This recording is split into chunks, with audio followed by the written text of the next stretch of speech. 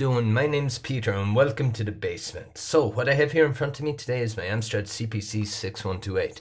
And what I want to do is I want to connect it to a three and a half inch disk drive. And the reason I want to do that is so that I can get higher capacity on disks that I can save games and programs and all that kind of stuff to, to make my CPC a little more usable.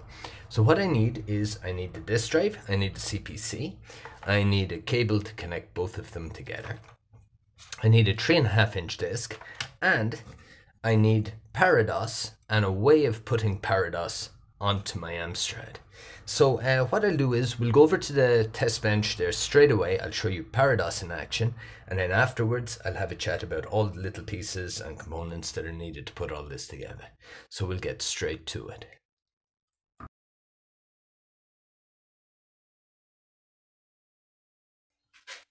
Now, so I'm after getting myself sorted up here at my test bench. I've got my Amstrad CPC, I've got my 3.5 inch disk drive, and uh, I'm after joining it to the CPC with little cable like I showed you earlier on that I made up. This is receiving power from this external uh, PC PSU, and I'm after plugging in my ParaDOS version 1.2 on my ROM board into the expansion port on the back of the CPC. So now I should be able to um, access three and a half inch drive and and use it with this setup.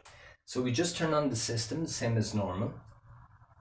Uh, we see anyway that we have ParaDOS available to us here. It's displayed on screen first thing. Um, so what I can do is I can pop this disc here into three and a half inch drive and I access it as drive B.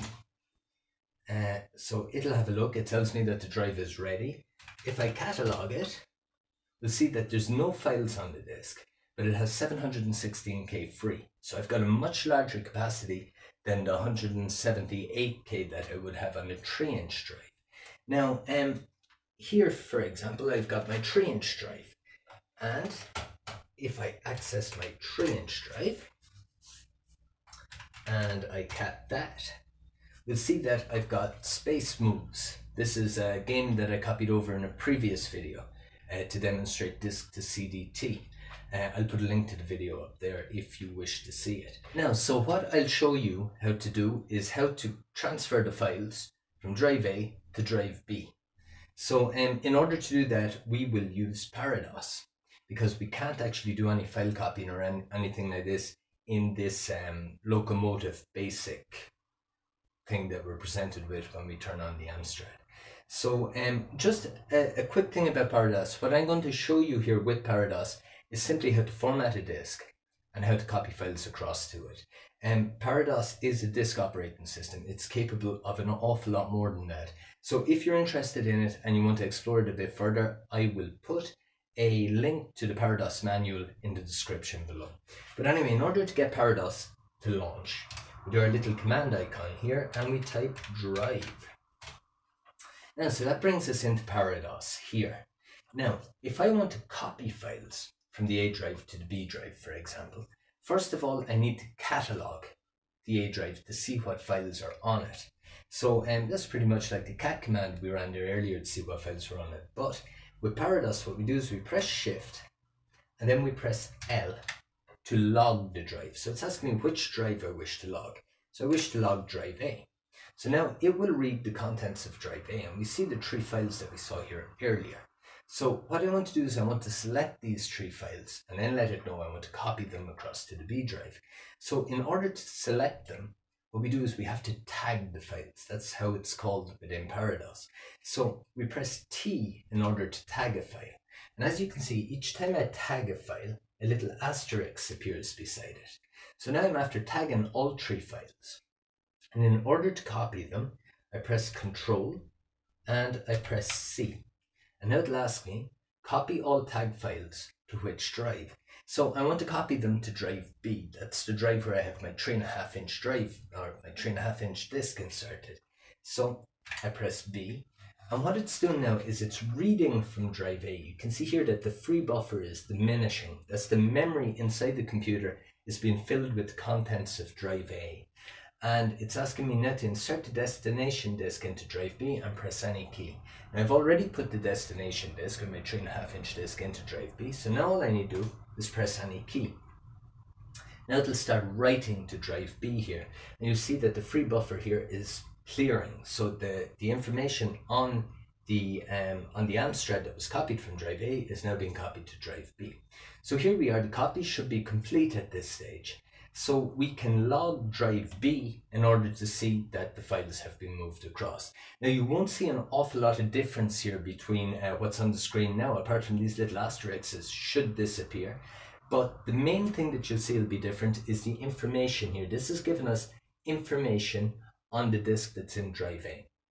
So it's telling us that in drive A, we have got a, a data disk that's single-sided with 40 tracks and it has total capacity of 178 kilobytes. Now when I log drive B, I press shift and L to log and tell it I want to log drive B. It shows me here the three files that we copied across previously. There's no asterisks beside them, but you see here now that the information has changed. It's drive B. The format is ROM-DOS D1 because that's what we use to format these. Um, ParaDOS gives us the option of using a format called ROM-DOS D1 or ROM-DOS D2. We can use either of those formats for three and a half inch drives. And we've got a total capacity of 716K. So you can see the advantage. There's like um, four times the capacity on a three and a half inch disc as there is on one side of a three inch disc. So um, what I'll do for the moment is I'll exit out of ParaDOS and uh, we'll see that this has worked. So in order to exit out, I press Control Shift and Escape to reset the Amstrad. I will remove the disk from drive A here and put it over here. And uh, you can see that this here is the three and a half inch disk. I'll pop it back into drive B. And now I select drive B here. It gets the, the drive ready for us. I catalog it. And here are the files that we copied across earlier. And I've got my 664 kilobytes free. Now, in order to run that, I simply type space and I put my run hyphen before it. And uh, it should start up. And here we go. It seems to be working anyway. So this is loading from the three and a half inch disk drive. And there we go and we will play just to see that it is indeed working. Yeah, it is. there we go. So that at least is working. I'll exit out of that. Okay. So there's one other thing that you, you need to know in order to use this in, in the most simplest way. And um, these discs, when you get them, are generally formatted for an IBM computer. So they're, they're, the format that's on them is incompatible with the Amstrad. So they need to be formatted. Uh, to format them with ParaDOS is, is quite simple. Just simply put the disk into the drive. We go back into ParaDOS again. And all we need to do is press Shift and F to format. It asks us which drive we wish to format. We're going to format drive B. And it gives us a whole list of different data formats that we can perform on the 3.5 inch disk. As I explained before, ROM-DOS D1 according to the ParaDOS manual, is the, the the best one to choose really between ROM-DOS D1 and ROM-DOS D2 because they offer much larger capacity, but they're also logically the closest to the type of format that's performed on a 3 inch disk, so the most compatible with the Amstrad CPC. So what we do is we just go down to ROM-DOS D1 and hit enter. So it asks me should it verify while formatting and should why not. So it's asking me to insert the disk into drive B and press any key. It's already in there. I press any key. So what it will do is, you see, it starts at 159 tracks. And now what it's doing is it's formatting each track and it's verifying each one as it goes. So what verify does is it checks to see if the track is good. That data that will be written to that track will be retained. It won't become corrupted or won't become uh, in, in any way unreadable. So it's it's worthwhile for the first format at least to do it that way, and then you know that your disk is pretty good, uh, well, providing that it, it formats without any errors. So I'll I'll speed up this little part, and um, that's pretty much the end of this segment because uh, that's that's all I really wanted to show you is how to copy stuff from one drive to another and how to format the disk. So what I'll do is in the next section we'll have a little chat about the type of drives because there are some incompatibility issues with drives. Uh, I'll tell you one or two little things about the cable as well, which are good to know. And um, yeah, just just in general, a little overall view of, the whole thing. But um, there you go. So we'll we'll head back over to the other bench. So you've seen me run ParaDOS and you've seen the system working. Um, I'd just like to point out that this here is the 3.5 inch disk drive that I used with the CPC. This is a Sony MPF 920 drive and it works fine apart from the fact that the actual uh, disk access light isn't accessed properly. But apart from that, uh, it writes and it reads data without errors. So that's good. Uh, the reason I mention it is that the first drive I used was this guy here. It's an Alps Electric drive and uh, it didn't actually work properly. Although it works perfectly on an IBM PC, compatible, it um it can be accessed by the CPC, but it doesn't actually read the disks properly. And I had a look on the internet, and I'm not the only one to have had this problem with Alps Electric drives. So it's apparently a known thing with Alps Electric.